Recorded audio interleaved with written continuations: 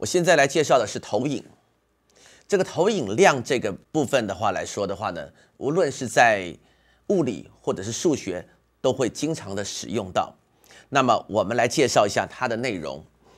我们假设这个长度叫做 x，这个长度叫做 y。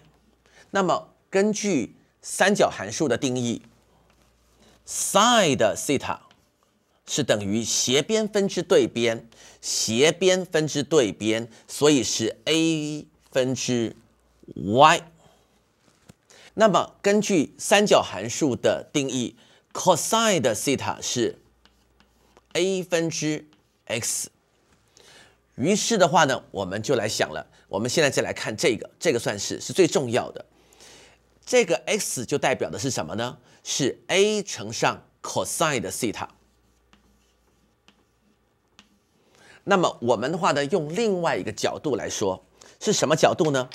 相当于说这边是一个太阳，这直直的照下来的话呢，这个的原来长度叫做 a，那这个长度就会变成什么呢？a cosine theta，。所以这个地方的话呢，我们又可以把它写成 a cosine theta。我们的话呢，这么讲，我们的看法是看法是说，这个量就是所谓的投影的量，那另外一边就是 a sin 西塔。我们称这个段叫做 x 分量，这个叫做 y 分量。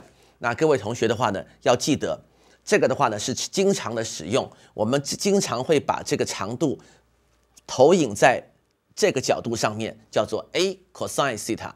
另外一个就叫做 a sin 西塔。